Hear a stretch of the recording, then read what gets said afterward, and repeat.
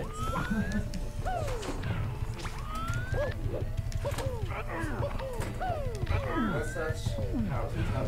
god, no. The chain effect. I love that. That's the best when that happens.